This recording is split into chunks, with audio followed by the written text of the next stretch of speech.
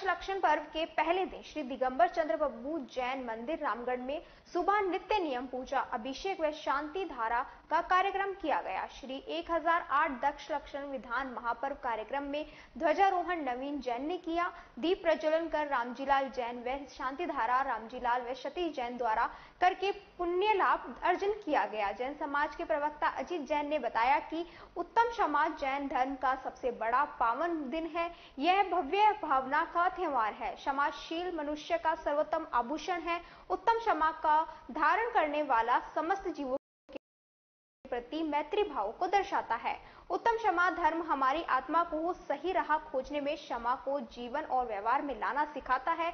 दक्ष लक्षण महामंडल विधान में त्यागी कौशल किशोर, रामजीलाल, राजेंद्र सतीश, अमित राकेश, योगेश रामदास, नथु, अरविंद शीला कुंता पूर्वराज, बबीता, लता, सीमा, मधु, राजबती, मीना, मीतू जैन आदि उपस्थित रहे। शाम को सामूहिक आयोजन किया जाएगा।